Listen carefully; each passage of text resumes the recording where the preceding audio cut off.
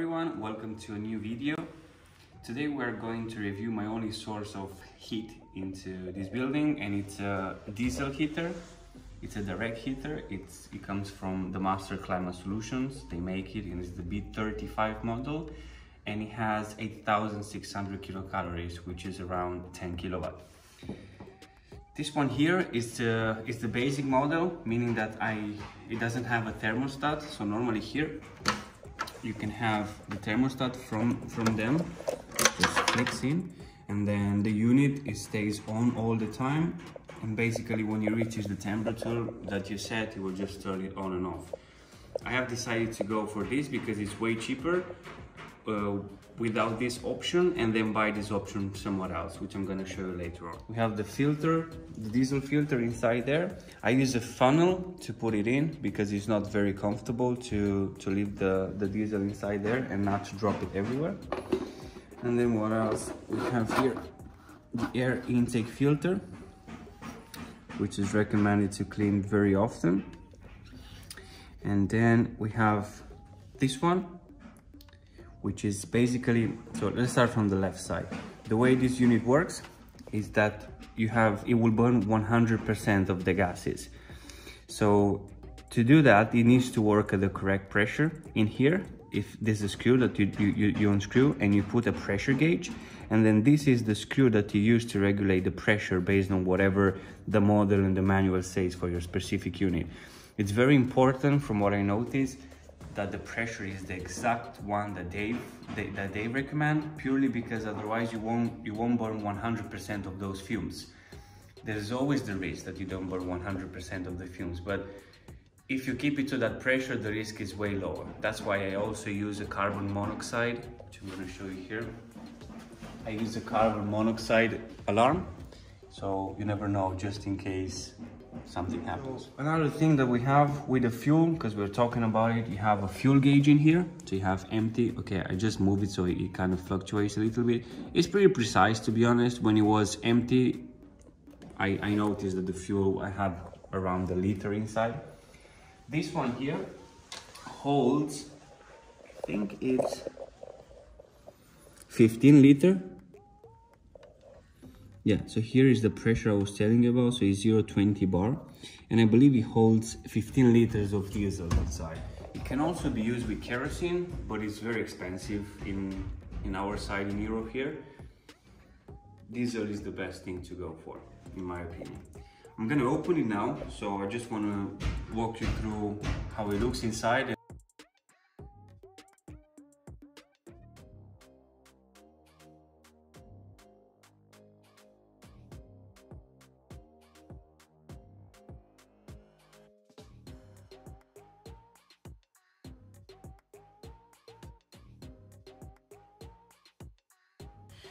Okay, so what we have here is basically the motor, which is the one that is turning the fan. Behind the motor, the, it's got like some, it's like a pump also. So it, use, it uses the, the, the, the motor for two things, to push the air through here and also to create a pressure that goes into, into here. So this is where, where that little thing is where the, the fuel comes out. So it uses the pressure from the back of the motor to generate pressure so the fuel can come out in through here. It's an automatic igniter, so um, basically what happens, you just press one button, which is this one here, you will automatically start the fire, everything will done, it will, is done automatically.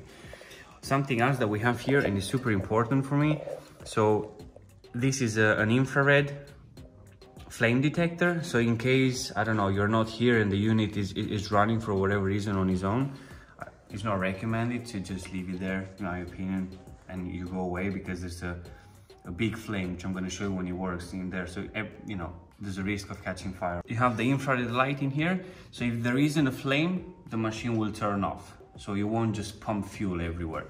So if the flame is missing, the, the unit goes off by, by itself. So as I was telling you earlier, it's a 10 kilowatt machine. For my, my workshop, it's very bad insulated. So the walls are not insulated at all. So what happened is I need around 5.5 kilowatt. It's a 60 square meter workshop and it comes back to about 5.5 kilowatt of heating capacity. However, I did try with an electric 5 kilowatt and it wasn't able to heat up the place. So I decided to go for 10 kilowatt and it works a lot better. I do heat up this place in about, it, it depends on the ambient temperature outside. Right now it's 7 degrees outside and it took me about half an hour to bring it to 20 degrees. Yeah, so it's pretty quick, pretty quick. The only problem is clearly because the place is not insulated very well. As soon as I turn this off, as soon as it heats up, it also cools down. So within half an hour, I go back to about 10 to 12 degrees roughly. Okay, we're gonna put the cover back and then I'm gonna turn it on. Um, before, before I turn it on, I'm gonna show you the socket that I use to control the temperature on it instead of the original one. And uh, then we put it all back and then we're gonna turn it on. So what I have here, as I was telling you, so I have this one. So it's a socket that reads constantly the temperature, which is the top reading here, and then I have two set points, the minimum, so when the unit should start at, and the maximum, when the unit should stop, stop at. It's very easy to set, you just press in here to go up and down, you set again, it goes up and down, and then it will, if you press set, it keeps going, but if you leave it, it will automatically come out of the setting. It's pretty, I didn't need this at the beginning because um, I didn't have the roof. So basically, there was the roof, but it was the roof of the of, of, the building, and it was about six meter tall. So it was never heating up properly. That's something you guys have to consider as well. It's not just the square meter; it's the volume. So if you have if you have very high ceilings, it's probably you're gonna have those 25 degrees up there, but you're gonna have those 10 to 12 degrees below here. So I dropped the ceiling and it was heating up too much. So I went from not having enough heat to having too much heat. So I had to install this purely because otherwise I would have to go to the machine, turn it on and off every half an hour or so.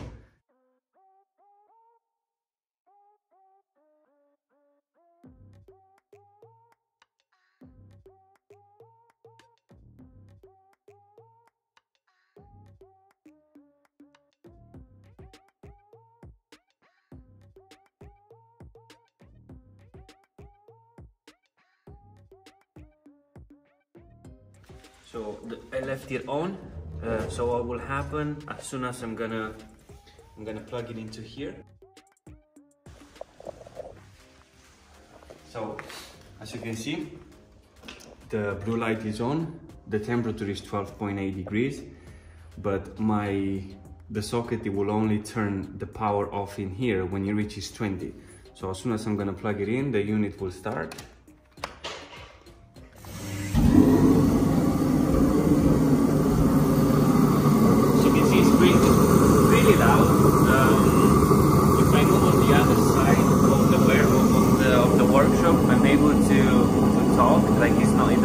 Bother me the noise, but if you come very close to here, it's actually it's actually pretty loud.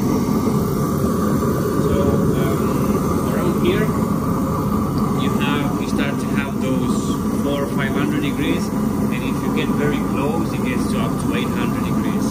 From this distance, already it's safe. Like nothing will hit enough to to burn. But as you can see, it's like 200, 500, 800 burning point. So it's ideal to have a clear area where the unit goes.